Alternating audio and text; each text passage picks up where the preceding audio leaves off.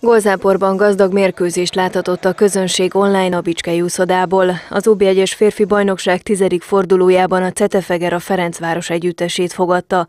Az első találat Murisistől érkezett három perccel a kezdés után.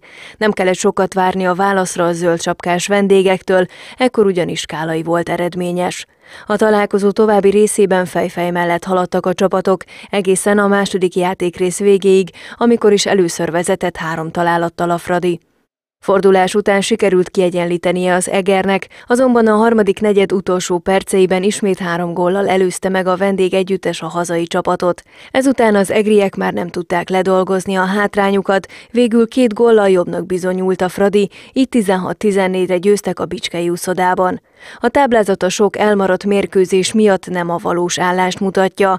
Az Eger így kilenc mérkőzés után öt győzelemmel és egy döntetlennel, illetve három vereséggel jelenleg a harmadik az OB1-es férfi vízi labdabajnokságban.